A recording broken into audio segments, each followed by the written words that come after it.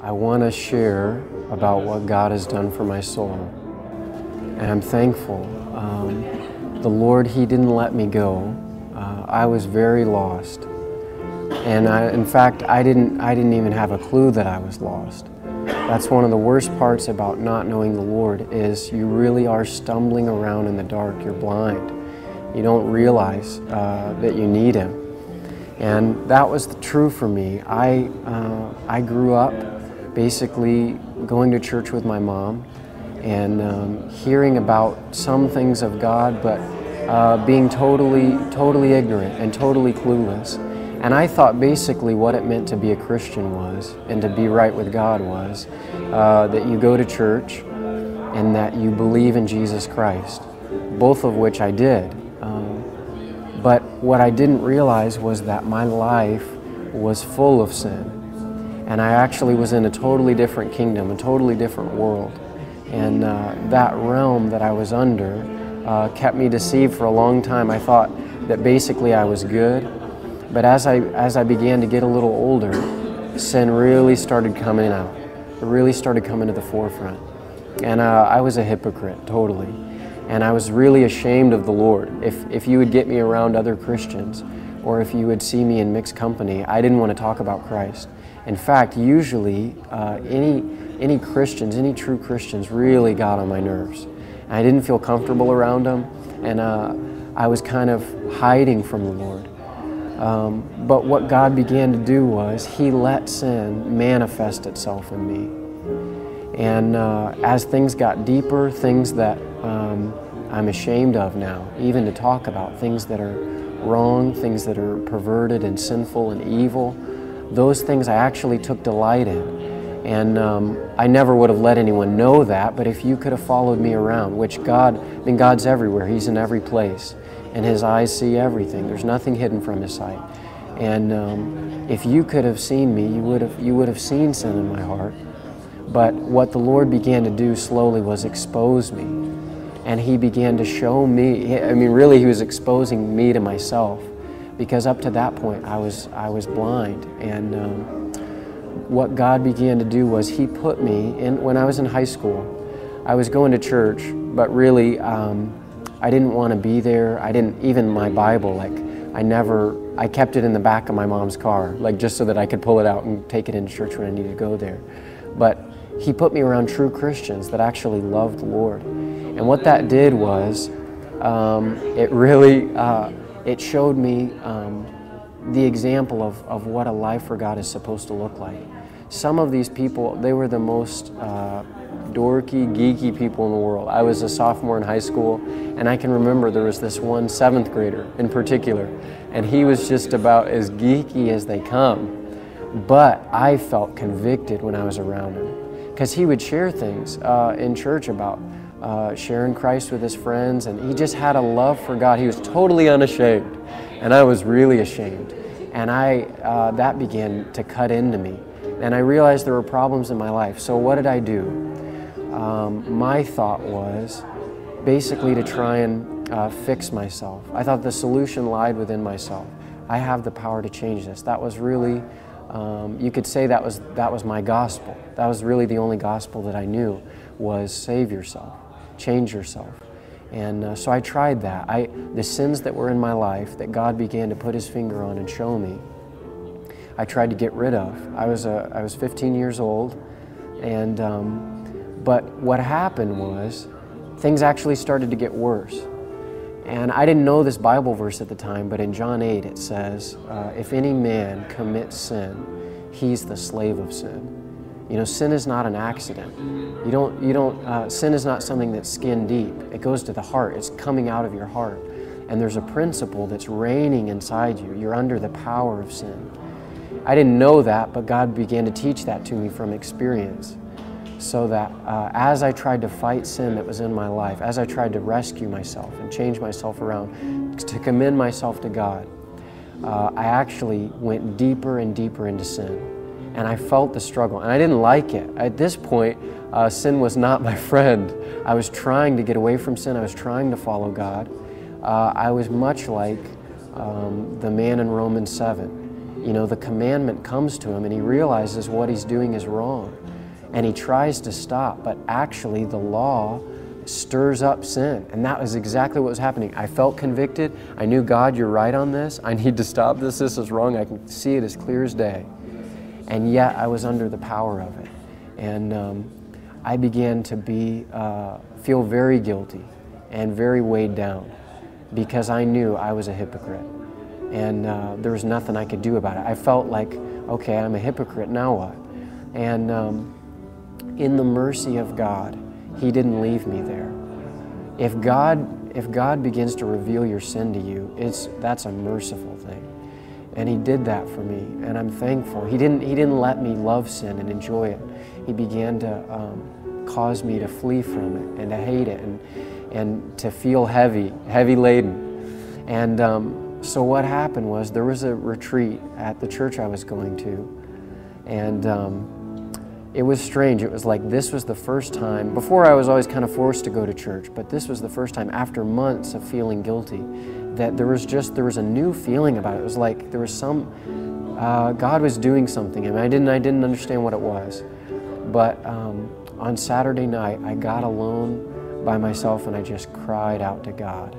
Uh, I wasn't around anybody. There wasn't anybody telling me what to do. I didn't even know what to pray, but I needed help. And I began to cry out to God for Him uh, to take me, to change me, to save me. And really, um, all I could say at first was, I'm sorry. I'm sorry, I'm sorry, I'm sorry. I just repeated that over and over to the Lord.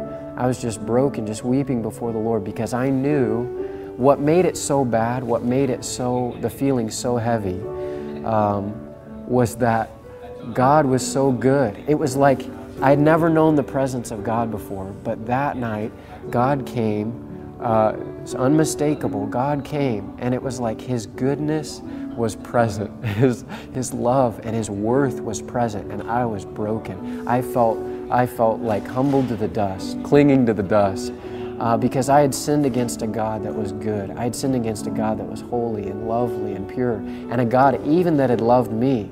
I knew that. I don't know how I knew that, but I knew that.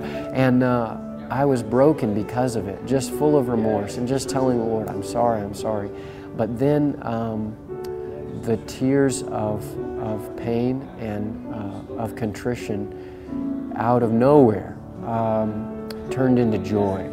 And it was like uh, my soul was flooded with assurance that God accepted me, God loved me, I belong to God.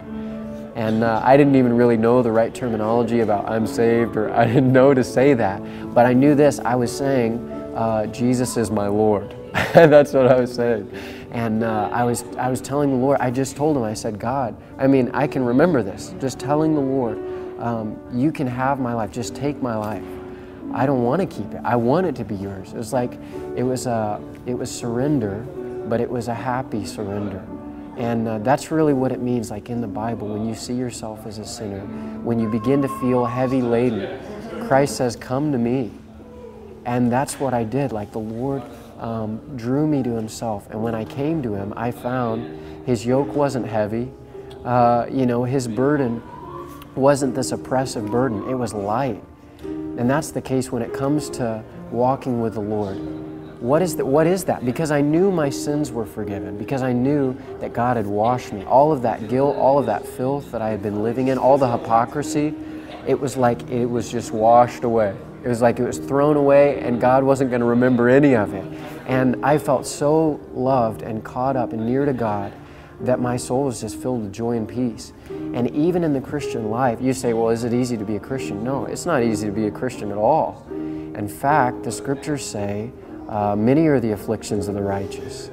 And uh, you know the world's going to hate you if you if you love the Lord. You live in a sinful world and you love the Lord. The world's going to hate you. And um, I experienced that. I lost all my friends right off the bat in high school. Um, you know, I was just I couldn't contain it. I was wanting to share with them, and they just said, "Get out of here." And uh, but it wasn't. I wasn't. Um, I wasn't sad about losing my friends. It wasn't a burdensome thing to me, because because God's peace had come into my life. His forgiveness was covering me. And if you know what it means to be justified, if you know what it means to be spotless in His sight, it's like your, uh, your world is unshakable. And that's what it was for me. Um, right away, the Lord did that in my life, and I'm so thankful. Um, just to follow the Lord and walk with the Lord. Um, it doesn't matter, you know, even as you go on in the Christian life, I've, I've been telling people recently, because His Word says this, that the path of the righteous, it grows brighter and brighter until the full day.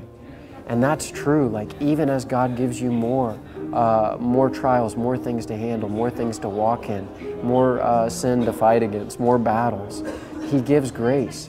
And like over the years, God has shown me more and more. At first, I didn't really know anything. I knew that God loved me. I knew that He had forgiven me. I knew that Christ had died for me. But as you, even as you go on in the Christian life, uh, God begins to show you more of the depth of His love, more of the power of His salvation, the finality of it, the, the security of it. I can remember when I was 18, uh, I heard a man preaching, and uh, he quoted a line from a hymn that I'd never heard before. Uh, I didn't grow up listening to hymns or singing hymns, which is a shame because this one I think would have been really good. And he said, uh, the, hymn, the hymn writer says, Nothing in my hands I bring, simply to thy cross I cling. And that, when the Lord taught me that, I had been a Christian for three years, but again, it's like more even depth to the forgiveness that God has, the, the freedom of the gospel that he invites you just to come and lay hold of the Lord Jesus Christ. You don't, you don't, you can't, you can't clean yourself up to come to him. I tried that. It failed miserably. That's bondage. It's death. You, it'll lead you straight to hell if you do that. But if you come to the Lord with empty hands, what can you give to God to impress God? Nothing. What can you do to commend your soul to God? Nothing. But if you come with empty hands like a child, uh, that verse says you can cling to the cross and when God showed me that, it was like new levels of joy that I'd never known before, a new level of rest in the Lord. Uh, that's why rest comes up in the Bible so much. Why is this thing in the Old Testament about Sabbath rest? Like, why is he always telling, he actually commands his people to rest. You will rest. And, and the Lord told me that when I was 18. It was like even more showing me the depth of salvation that Christ has, has won on the cross, that he purchased for his people um, to rest in Him, to come empty handed to Him. And um, it continues to be that way. As I walk with the Lord, He continues to show me more things I never knew about His goodness, about His grace. And um, even, even uh, the fact that God had grace for me even before I ever turned to Him, while I was still His enemy. Christ had died for me, He demonstrated His love for me. Uh, his grace was set upon my life. It was like it was riding over me all the time. And uh, I had no clue. But God's love, it, as it says, it says in Psalm 103 17, it says uh, that His love is from everlasting to everlasting upon those who fear Him. And God began to teach that to me too. I mean, it's like, where will it end? Where is, where is God ever going to run out of grace? Well, He doesn't. All the, all the riches, all the fullness is hidden in Christ. Every treasure, and you can't it's it's unfathomable it's like you cannot sound the depths so i just look forward to knowing more of who god is and uh, god is what a savior we have what a what a lord what a god we serve illbehonest.com